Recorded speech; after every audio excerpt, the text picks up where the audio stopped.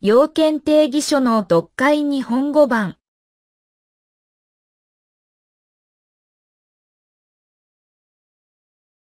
リーさん、今、ちょっといい。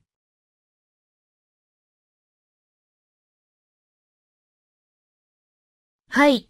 3時の定例会議までは空いています。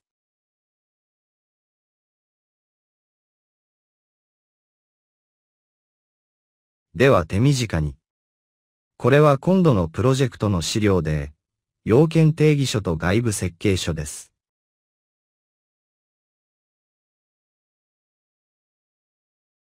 はい、これに目を通しておくんですね。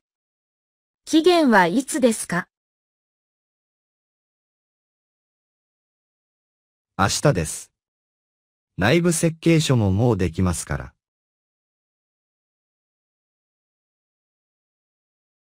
明日ですか？すみません。私の日本語力ではかなり厳しいのですが。そうですか。じゃあ、3日でお願いします。3日ですか？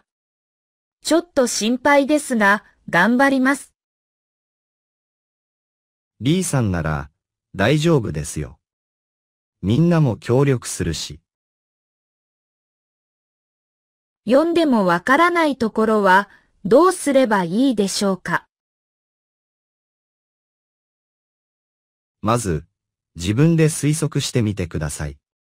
自信がなかったら、本棚に辞書もあります。辞書にない言葉は、大沢さんに聞いてください。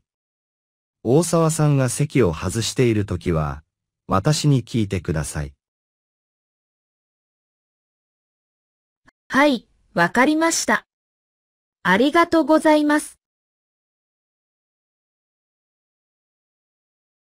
くれぐれも、設計の理解があやふやなまま実装の段階に入らないようにね。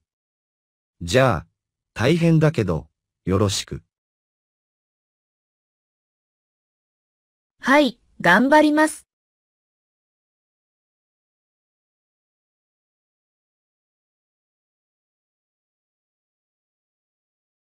ありがとうございました。質問があったら、下にコメントしてください。